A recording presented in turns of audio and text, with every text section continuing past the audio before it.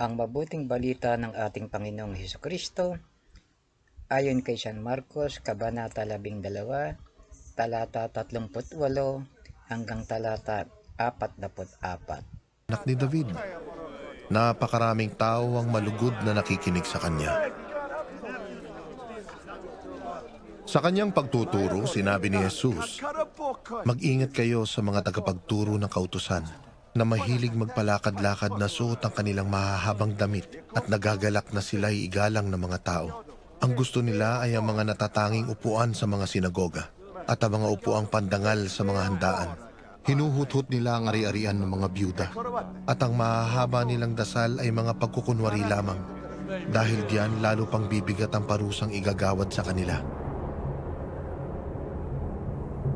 Naupo si Jesus sa tapat ng lalagyan ng mga kaloob doon sa templo at pinagmasdan ang mga naghahandog ng salapi. Napansin niyang maraming mayayaman ang naguhulog ng malalaking halaga. Lumapit naman ang isang biyudang mahirap at naghulog ng dalawang tigsi 50 sentimo.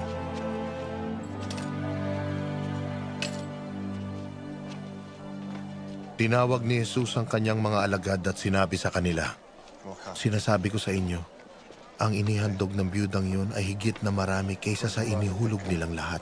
Sapagkat ang lahat ay nagkaloob ng bahagi lamang ng kanilang kayamanan. Ngunit ang ibinigay ng biyudang yun, bagamat siya ay mahirap ay ang buo niyang ikinabubuhay.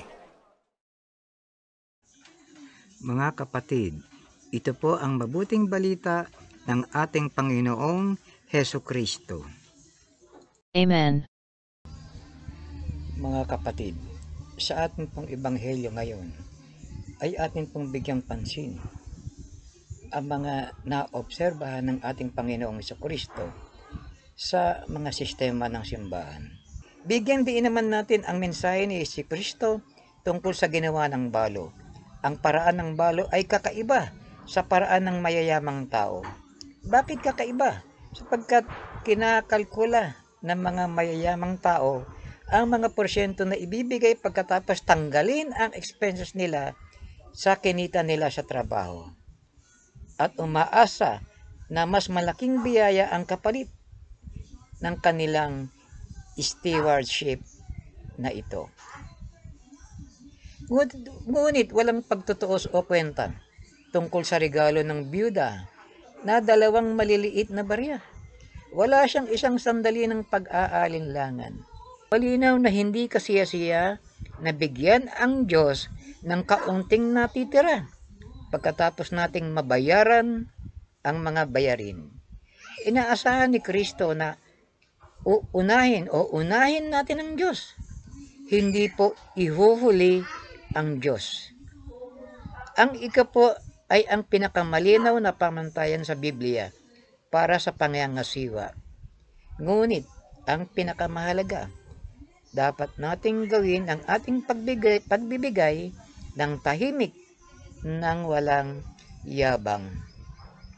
Dito ay ipinakita ni Jesus na una, kahit ang mahihirap ay maaring parangal, parangalan ang Diyos sa pamamagitan ng kanilang mga handog. Ikalawa, hinahatulan ng Diyos ang handog, hindi sa laki ng regalo, kundi sa pamamagitan ng puso ng tao at kababaang loob. Ito po ay isa puso natin mga kapatid. Ano ba ang tunay na pagbibigay sa ating Panginoong Diyos?